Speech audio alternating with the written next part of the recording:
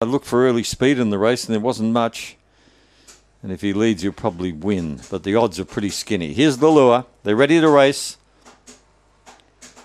They're off.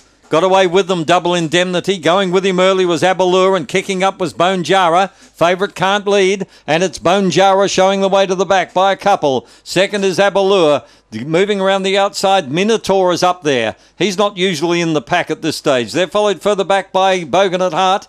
Further astern in the field, then Double Indemnity. Well back was Diner Archie. Well out of it, then Menzies. And last of all, Long Gully Gilly. Coming to the turn, Bone Jara being joined by Abalur. Bone Jara by a half to Abalur. Third home was Archie, who really got to go on late.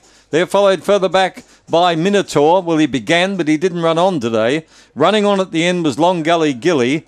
Double Indemnity was about second last with Menzies and Bogan at Heart. One, seven, four, six.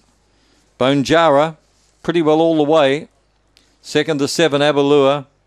And third to four, Dinah Archie, who was rattling home.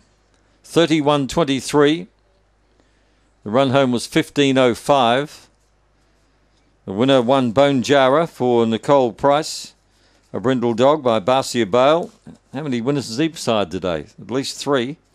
Out of Ready to Ignite is raced by Kay Armistead and P. Hamilton and trained by Nicole Price. April 15, the whelping date.